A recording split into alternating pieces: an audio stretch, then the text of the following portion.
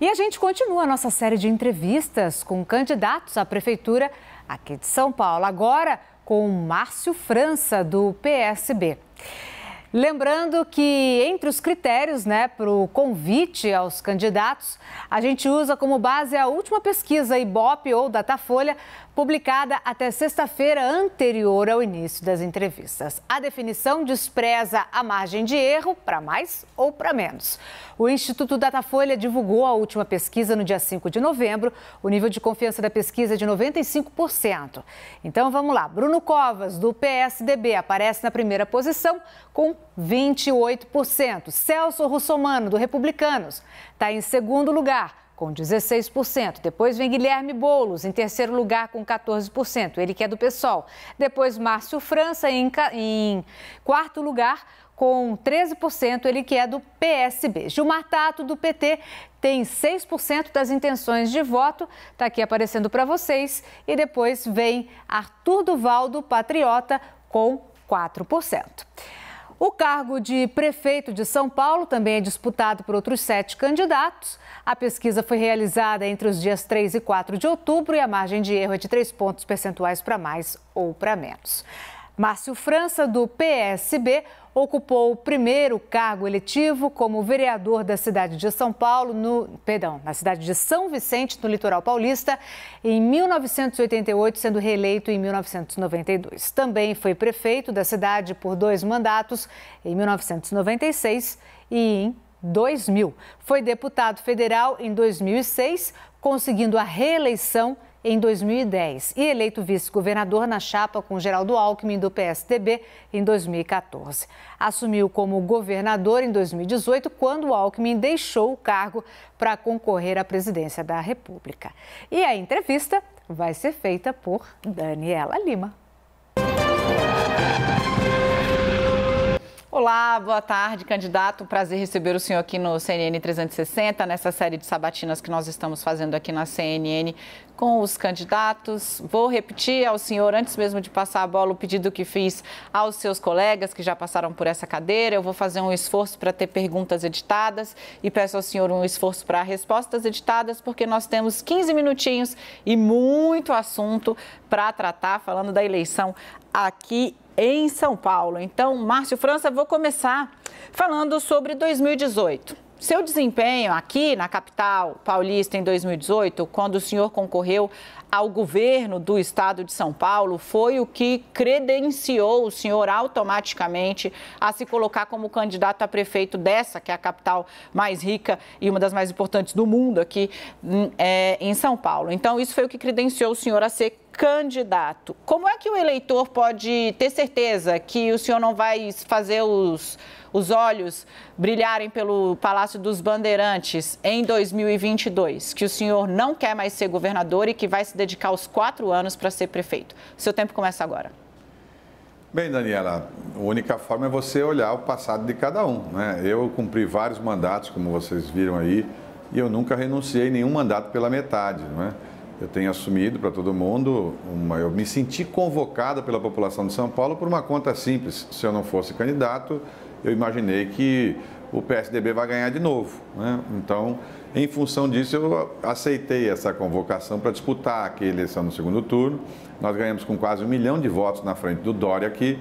Evidente que uma vitória do Bruno aqui será uma vitória do Dória.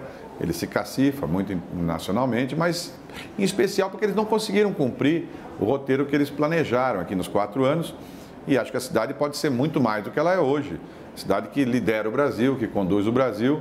É, a minha, o meu histórico é que conduz a isso. Aqui tem palavra, foi o que eu falei o tempo todo. Se eu ganhar a eleição, cumprirei os quatro anos. Ok, o senhor incorreria na mesma, por exemplo, José Serra assinou um documento e depois teve que esquecer o que assinou. O senhor faria isso? Registraria aí o compromisso? Ah, registro com facilidade, mas Sinceramente, a minha palavra ao longo dos anos, né, quem me conhece sabe, se você se recorda na eleição passada, eu era vice do Alckmin, né? E eu fui muito leal a essas relações, não, no final da campanha todo mundo falava, fala Bolsonaro, fala, mas não vou fazer o que eu não acredito, eu só faço aquilo que eu acredito.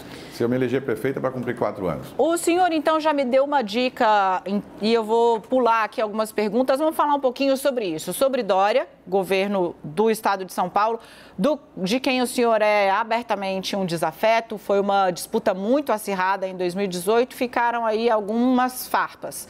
Tudo bem, e Bolsonaro o senhor disse que mal conhece. Como é que vai ser a relação então de um eventual governo Márcio França com o governo do estado, de novo, com quem o senhor tem suas diferenças públicas, e o governo federal, com quem o senhor não tem relação? Mas se tem uma coisa que eu sei fazer, é exercer o comando, o poder. Então, um prefeito de São Paulo, ele não é uma pessoa que possa ser desprezada, não é? Então, na medida que eu me elejo prefeito, eu me relaciono com todos eles. Aliás, foi por isso mesmo que recentemente até fui conversar com o Bolsonaro por conta do episódio lá da, de Beirute. Eu não tenho essa coisa de você ficar com mimimi, de não falar com tal pessoa.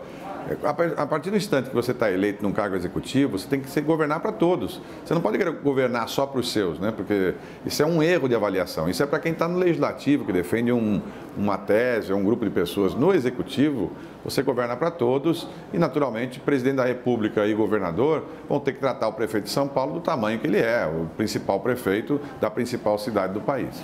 Tudo bem, então vamos aqui pensar nesse eleitor que está tentando conhecer melhor o senhor, fez um plebiscito sobre Dória em 18, o senhor é, chegou perto, ok, mas esse eleitor tenta entender o que é o Márcio França. Márcio França é de esquerda, Márcio França é de direita, o Márcio França é progressista, o Márcio França é conservador. O que é? Porque o senhor tenta fugir um pouco desses rótulos, mas com clareza. Se apresente para o eleitor.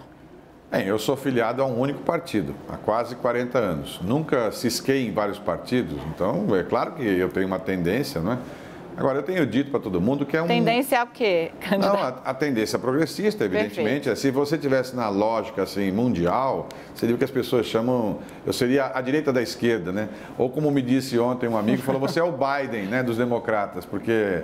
O Biden é alguém que, dentro da, da, da posição democrata, foi alguém que conseguiu encontrar um caminho para é, não. Talvez tivesse pessoas candidatas a presidente da República Americana que tivessem mais charme ou ideologicamente, enfim, mas quem ganhou a eleição foi o Biden. Ele conseguiu encontrar um pedacinho, porque quando você, para ganhar a eleição, eu sou muito pragmático, para ganhar a eleição, você tem que ter um pedacinho do outro lado e não dos seus, né? Você tem que buscar do outro campo também.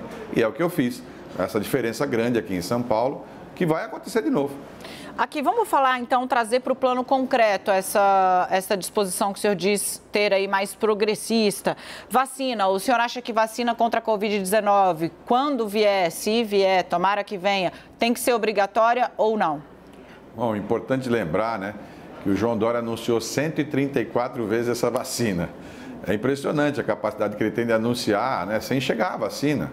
Então nós ficamos discutindo uma vacina que não existe. Mas evidente que se houver a vacina, ela é obrigatória para todo mundo de bom senso. Todo mundo de bom senso vai tomar vacina. Agora, eu perguntei outro dia para uma pessoa: quem já teve Covid, será que é obrigado a tomar a vacina? É, talvez não seja, porque ele pode falar: não quero, eu já, eu já injetei de alguma forma, já tive o vírus, né? Ou, por exemplo, questão religiosa. Tem gente que religiosamente não aceita tomar vacina, não tomar injeção.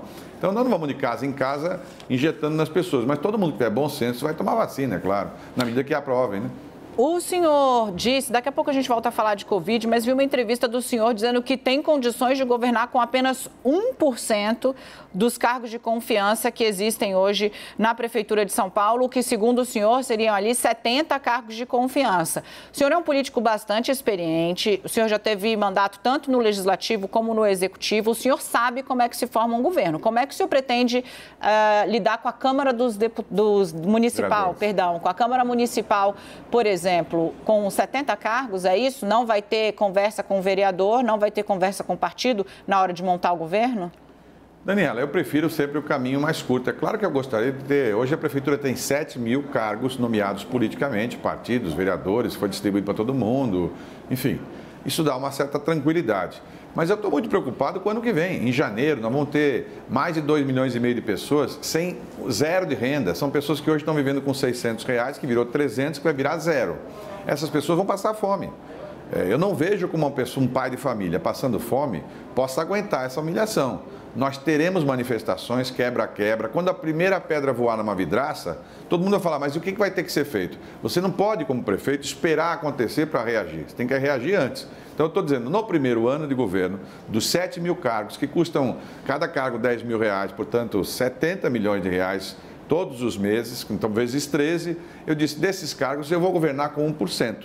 É o que é possível. Ou a gente faz isso, ou nós vamos ter as pessoas passando fome. Então, eu fiz uma opção de fazer um corte para poder garantir um outro recurso e, criar frentes de trabalho, para as pessoas poderem trabalhar com 600 reais por mês, trabalhando três vezes por semana, como uma maneira das pessoas poderem ter um pouco de esperança a partir do ano que vem. Daqui a pouco a gente vai falar sobre custo, porque eu quero saber de onde vai vir o dinheiro, mas agora eu quero aproveitar que a gente está com um tempo confortável para tratar com o senhor de um assunto que suscitou bastante polêmica e que foi bastante explorado pelos seus adversários. O senhor deu uma declaração há algum tempo falando sobre brigas de casais que sobrecarregam a polícia. Essa fala foi muito explorada uh, porque tenderia aí a ser uma coisa que minimiza a violência contra a mulher. Eu vou abrir aqui o espaço, então, para que o senhor primeiro explique o que quis dizer e detalhe qual é o seu plano de enfrentamento à violência contra a mulher, que com a pandemia piorou muito. Sim. Primeiro ponto, né, Daniela? Essa frase foi dita, no fundo, pelo Boulos, né, num debate. O Boulos é a favor do, da extinção da Polícia Militar. Né? Ele está numa outra posição muito mais radical. Né? Ele quer que extingua a Polícia Militar. Então, se extinguir a Polícia Militar, não vai ter nem para quem chamar. Aliás, instantes depois, é, houve uma gravação dele próprio falando que na, dentro dos, dos, acampamentos a Polícia Militar não entra nem que tenha casos de briga, de, de bater em mulher, enfim. E não foi nada disso que eu disse. O que eu disse, e vou repetir. Primeiro, homem que tem qualquer agressão, aliás, não é homem, qualquer casal, né, que tem agressão física, é caso de polícia, evidentemente. Mas o que, quando você tem, quando você fala em desinteligência, quer dizer todos os tipos de discussão. Discussão que existe em bar, discussão que existe por conta de vizinho, discussão com filhos que chegam hoje drogados em casa. E eu disse, vou repetir, que o Estado e a Prefeitura também tem que garantir que tenham profissionais diferentes para reagir para isso. Existem outros profissionais, psicólogos, pessoas que podem reagir em casos como esse. É diferente no caso de violência. No caso da Prefeitura de São Paulo, os centros de acolhimento desses casos específicos, que eram vários aqui em São Paulo, foram completamente esvaziados. A Prefeitura não renovou contratos, não fez concurso para psicólogo, não tem advogado, eles estão super esvaziados. Nós queremos reforçar esses centros. Tem uma patrulha importante que é, é da Guarda Metropolitana, que nós vamos reforçar mas é super. E nós queremos acrescentar um dado que já existe em outras cidades, eu não sei porque não tem em São Paulo, que quando, a partir das 20 horas, quando as mulheres tiverem, mulheres e também trans, é, transexuais e outras pessoas que tiverem, se sentirem por algum tipo ameaçadas, que elas possam parar os ônibus no trajeto que ele já faz em qualquer instante, não é? Quando você pede, o motorista para, não precisa ficar esperando o ponto chegar. Facilita muito, há muito caso de violência quando as pessoas descem e ficam longe de casa, por exemplo. Então, facilita bastante, já existem muitas cidades, eu não sei porque em São Paulo não tem. Perfeito. Vamos conversar um pouquinho sobre proposta e custos. O senhor citou aí agora o plano né, da renda mínima. Queria saber se o senhor já tem estimativa de custo, de onde vai vir o dinheiro, porque tem outras iniciativas no plano de governo. Por exemplo, o senhor fala em facilitar né, a abertura de 250 microempresas ou pequenas empresas, né, e ainda fazer um empréstimo de 3 mil reais para empresários a juro zero, visando o quê? Trazer mais empregos. De novo, de onde é que vem o dinheiro? Esse plano, Daniela, ele chama Plano Marshall, é um plano de emergência, como se fosse um pós-guerra dos americanos lá na Europa, né, que é, é, copiando aquela história do Plano Marshall, né, porque nós estamos numa guerra. Então, a partir do ano que vem, a gente quer, primeiro, reabrir comércios que fecharam. Nós vamos emprestar 20 mil reais para eles reabrirem, comprar estoque, se animarem, enfim, para quem no, durante a pandemia descobriu uma vocação, a gente quer emprestar 3 mil reais para a pessoa que tem, por exemplo, entrega Uber de bicicleta, porque não entrega de moto? Cabeleireiro, faz bolo, faz salgado, enfim, empresta 3 mil reais. As pessoas não têm acesso a uma rede bancária, então elas vão emprestar, vai ser o lastro. É, vamos abrir, como eu falei, frentes de trabalho, grandes frentes de trabalho. Uma delas com todas as pessoas que estiverem vulneráveis e as outras com jovens, só com 18 anos, como nós fizemos no governo do estado e na prefeitura, alistamento cívico. E para finalizar, abrir é, todas as unidades de saúde e educação aos finais de semana, feriado, enfim, que também tem um custo importante, né? É, porque cara, tudo isso custa. Esse tudo custa 2,5 bilhão de reais, 700 milhões de reais virão dessa, desse corte dos cargos em comissão, que eu avisei para você que nós iremos fazer. Uhum. E falta 1 bilhão e 800 milhões que já estão nas contas atualmente das organizações sociais que fazem convênio com a Prefeitura na saúde. Sobraram esses valores de convênios passados de contratos da prefeitura. A prefeitura ainda não requisitou, porque não auditou essas contas. Todos já sabem que as, os valores estão certo. lá e a prefeitura pode requisitar. Somos 2,5 bilhão aí para o ano que vem. Candidato, vou pedir uma ajuda para o senhor para a gente poder falar de Covid e poder falar de educação. E temos só três minutinhos, eu ainda preciso reservar suas considerações finais. Segunda onda da Covid-19, se vier e o risco é grande, olhando para o que está acontecendo lá fora, como é que o senhor pretende gerir a, a crise? Bom, primeiro com a identificação imediata, né? o, o teste das pessoas. São Paulo errou muito. Porque nós podíamos ter feito o controle a partir de Cumbica. Se você lembrar que tudo entrou através de Guarulhos, né? praticamente todo estrangeiro que veio para o Brasil entrou por lá. É, cuidar dos transportes coletivos, limpar os transportes coletivos, que 90% pegou, ou pelo menos uma boa parte pegou Covid a partir do transporte coletivo. Né? Então não fizeram o tratamento adequado. Hoje já existe no celular aplicativo que você, quando tem a identificação, você consegue fazer onde estão tá as pessoas e, e conseguir isolá-los. Né? Ou seja, o senhor pensa num isolamento... É... Pontual, claro. Pontual. pontual. O senhor não não pensa em, de novo, fechar as coisas, não, impedir não o penso. Acho que foi uma okay. grande loucura, né? E a gente, inclusive, está sofrendo até agora, porque muitas coisas quebraram com tudo isso. Nós estamos com milhares de pessoas desempregadas. Né? E o ano letivo, candidato, como é que faz para repor o ano de 2020 que foi absolutamente jogado fora? Foi mesmo. Não é verdade que nenhum aluno, praticamente nenhum aluno da rede pública teve acesso à aula remota. Né? Eles não têm iPad, não têm iPhone, não têm Wi-Fi, pessoas simples não têm. É uma inverdade isso. Né? Nós temos que abrir as escolas sábado, domingo, feriado, vamos precisar de muito mais gente, portanto, contratar essas pessoas ou colocar horas a mais para as pessoas que já trabalham e para fazer isso, né, precisa ter pulso, porque vai ter, ah, não queremos e tal, mas as crianças não têm, nós não podemos fazer isso com as crianças, elas perderam um ano. E não é justo a pessoa, filha da pessoa mais rica, ficar com um ano a mais de estudo do que a outra pessoa e depois fazer um concurso com as mesmas provas. Ah, a gente ainda tem um tempinho. Eu quero saber por que, que o senhor acha que ainda não está refletido nas pesquisas o resultado que o senhor alcançou aqui em 2018. O eleitor esqueceu, o senhor? Não, acho que faz parte, não é? Prefeito é o atual prefeito, eu sabia desde o começo que ele estaria no segundo turno. A segunda vaga, com o surgimento dos dois nomes, um para a esquerda, um para a direita, naturalmente eu tive que encontrar um espaço, mas eu não tenho nenhuma dúvida. Você se lembra nas eleições passadas, no sábado da eleição, Ibope, acho que Datafolha também, me davam 15, 20 pontos atrás. Quando abrirem as urnas das áreas populares de São Paulo, nas ocupações, nas questões das comunidades mais humildes, da última vez eu subi 16 pontos num só dia, né, e a PT subiu junto. Aliás, o PT também vai ficar em, em terceiro lugar, ele vai ganhar ainda do Boulos aqui em São Paulo. E vamos ficar, eu, aliás, é, Covas, como foi o Dória, com 27, 26, eu 22, depois aí PT com 16 e o resto para trás. Tá certo. Márcio França fazendo sua predição aí. Candidato, o senhor tem 35 segundinhos para se de, de despedir perdão, do eleitor.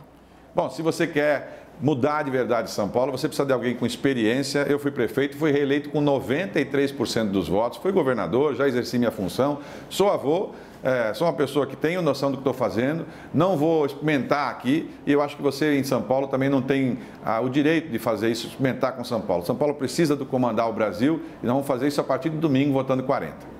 Tá certo, então, candidato, muitíssimo obrigada. Se a sua previsão der certo e o senhor passar para o segundo turno, espero o compromisso que já foi firmado aí com a sua campanha. O senhor aqui no debate que será promovido pela CNN na segunda-feira. Bom trabalho e Obrigado. boa sorte. Até segunda, então. Um abraço.